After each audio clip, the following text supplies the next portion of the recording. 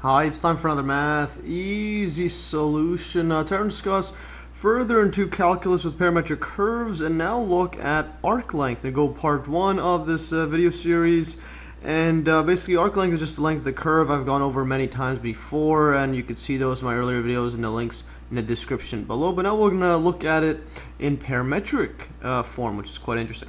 So let's look at arc length. So, so recall from our earlier video that the length of a curve C in the form y equals f of x and where x is between a and b where f prime is continuous where again it just states that the f is continuous as well is uh, and the derivative exists is given by the formula. And again make sure to watch my earlier video on this. Just to recap this is equal to L. The arc length is equal to integral from A to B of uh, square root 1 plus and then the derivative dy over dx squared move this plus to look a bit nicer and then we have uh, dx over here like that. And then what this is uh, describing is if you had a curve we'll go x this is y and we have a curve c like that and then we have it from here to there and at this point is a at this point is b and this curve is a y equals f of x and we'll call this curve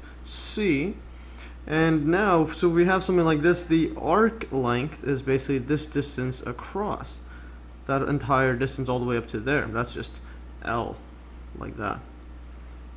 So now let's suppose that uh, this L, I mean, or this uh, curve C can be written by parametric equations. So suppose that C can also be written or described by the parametric equations, and we'll, here we'll write x equals to f of t or function of t, and y is equal to g of t, another function of t and then we're gonna define t as between beta there on the right side and then it's uh, greater than or equal to alpha like that.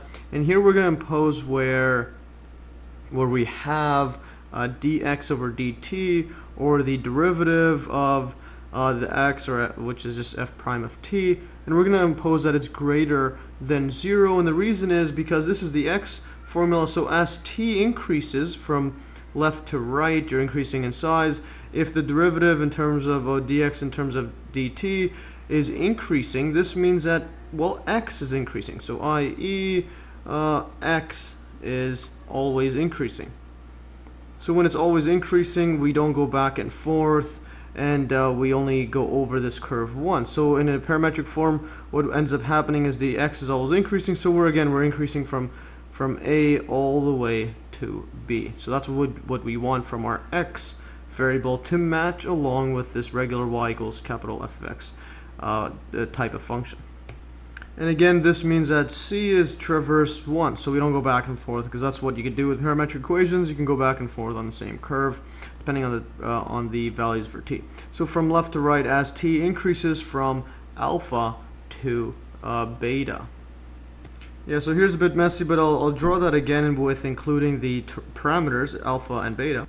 And what we have is if we draw that curve again, or a similar curve x, y, so we have something like this and then we have from here if this is our A this is our B. So then we have a, a t parameter. Let's say it starts off at alpha and then it goes uh, ends up at this point at t is equal to beta. What this means is that the a value right here a is equal to well this is just because uh, number a is equal to uh, x and it's a function of uh, f, so we could write, well, this is just x of alpha, where the parameter t is alpha, which is, again, the same thing as writing f of alpha. And then going all the way to the right side, x equals to b, where, again, x is, this is a function of t, in parametric form, x is a function of, well, in this case, the parameter t is uh, beta.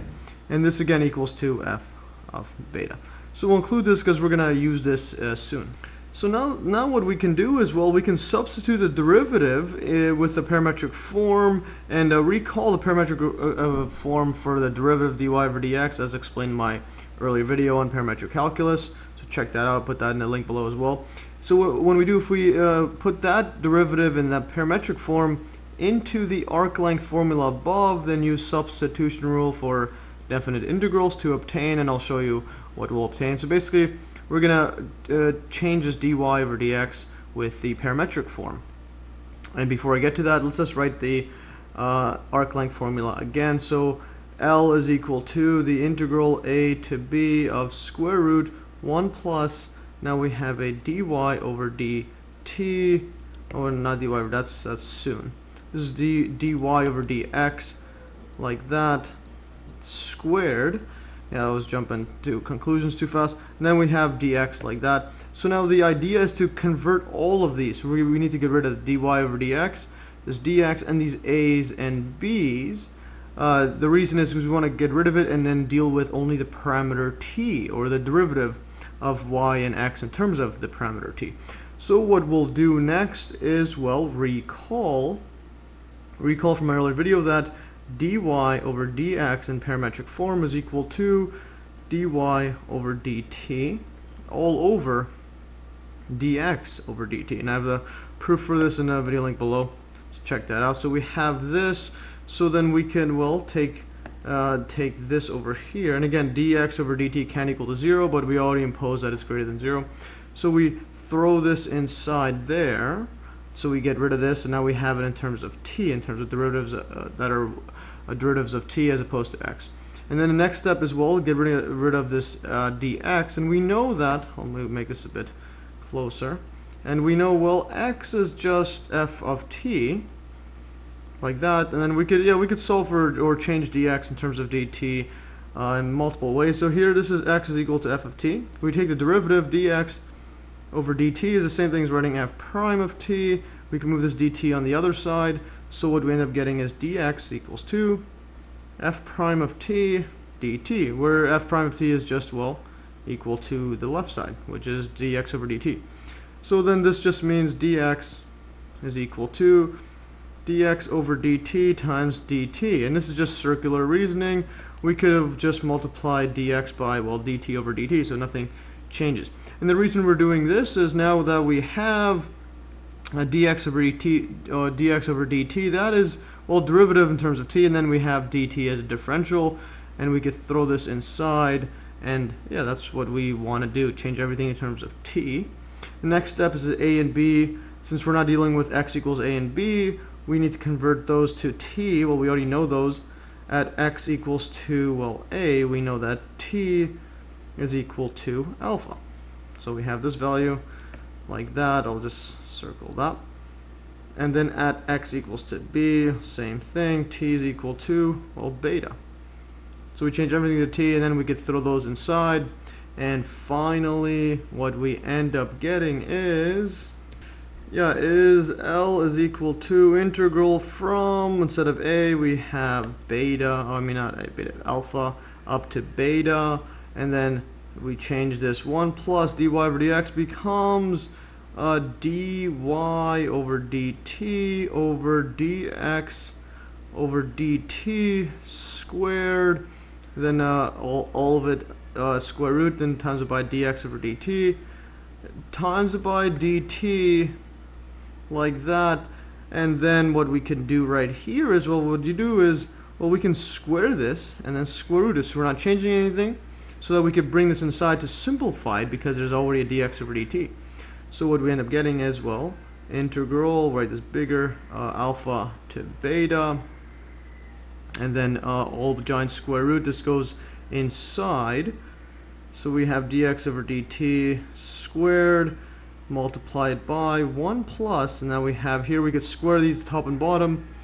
So we have yeah, what we have is a dy over dt, I'll write this a bit neater, dy over dt squared, move this over, uh, divide this by, then the bottom is dx over dt squared, like that.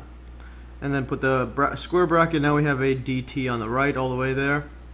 And now we can just multiply this inside, and then we can cancel this over here and then move this over here, replace the 1. So what we finally get is a, uh, well, simplified all.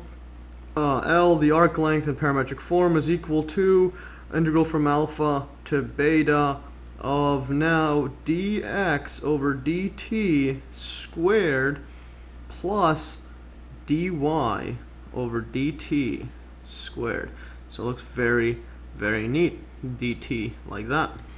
And yeah, we could just, well, circle this whole thing.